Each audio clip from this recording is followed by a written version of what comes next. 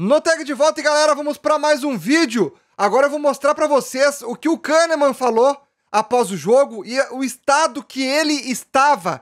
Deem uma olhada nisso. Mas antes, gurizada, eu quero falar para vocês aí da Uni TV. Vocês querem assistir jogos do Grêmio, querem ver filmes, séries, tudo liberado? Vai na Uni TV que tu vai ter um período de teste por lá.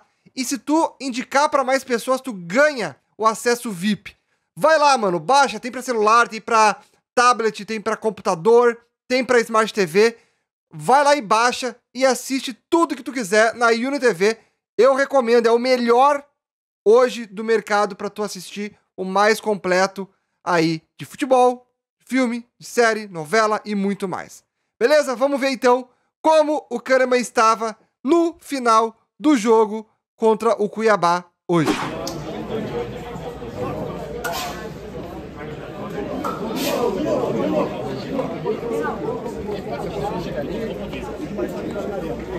É sim, ó, vitória muito importante. Sim, a gente está tá sempre querendo brigar ali na parte de cima da tabela. E esses dois últimos jogos aí, essa parada, era o que a gente tinha proposto a fazer. Né? Esses dois jogos, independente do adversário, a gente tinha dois jogos em casa.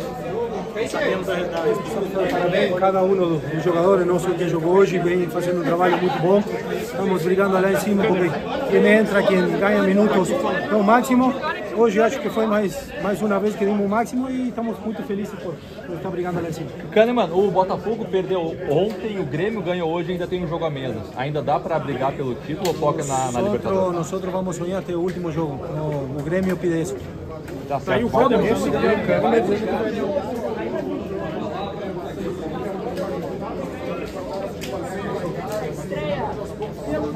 Estreia!